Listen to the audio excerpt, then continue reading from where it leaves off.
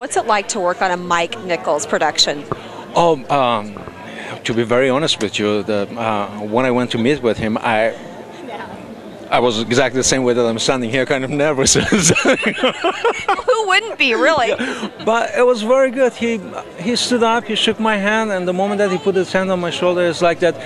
Oh, you feel safe. You feel that you're somewhere that someone is there to take care of you and it was great opportunity working with those guys. Uh, the part was interesting. I learned a lot by just doing the film. What did, what did you learn? I'm because I'm um, I'm playing a Pakistani. I'm playing a translator. I'm playing translator for Tom. So. Uh, by doing that, and the people who I've met on the set, some of them they were actually people who were in those camps. So talking to them and trying to be as truthful and as real as possible to the character, that was. I, that must have been an added weight on your shoulder. It, it was. It was because I was coming there, and so I had to. Uh, some of those stories they were very. Uh, I mean.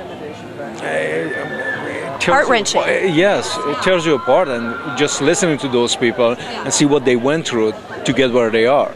So it was great. It was a great learning experience just working with those guys, being there, being here. A great opportunity. What else do you want? That's What's good. up next for you? Um, right now, I'm working on Brothers with Jim Sheridan, and that's the next movie that I'm going to be shooting in January. And I just shot something with, uh, of course, with Jessica Biel. It's Powder Blue. There's another movie that I just finished. You're keeping busy.